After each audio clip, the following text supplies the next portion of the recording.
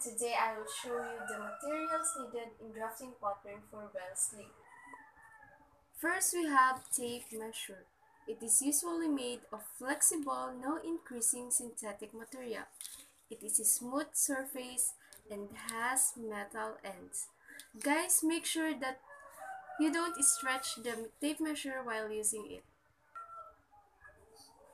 Next, we need to have ruler and triangle. Ruler and triangle is made of wood or plastic. Next, we have T-square.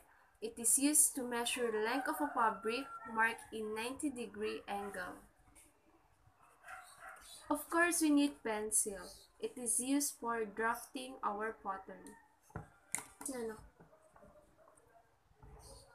We also need pins. It is used to hold the pattern paper or the fabric while you are tracing or cutting it. Next, we have French curve. This tool is usually made of thin smooth wood or cardboard for drawing curves, lines in the armhole or neckline and the crotch. Of course, we need scissor. Scissor is used to cut our drafting pattern. Of course, we need a pattern paper. It is a thin sheet for drafting and writing a foundation pattern. If you want, you can also use a cartolina for drafting a bell sleeve. And the most important that you will be needed in drafting a bell sleeve is a foundation pattern. It is used as a guide in drafting a bell sleeve.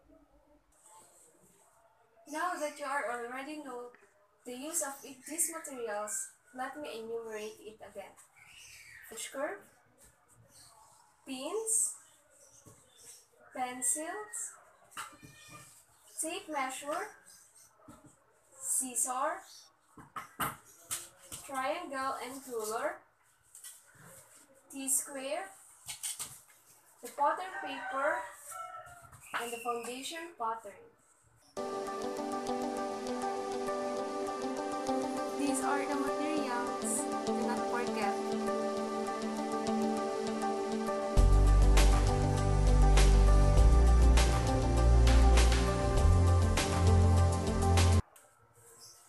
I hope you learned from this video. Thank you for watching.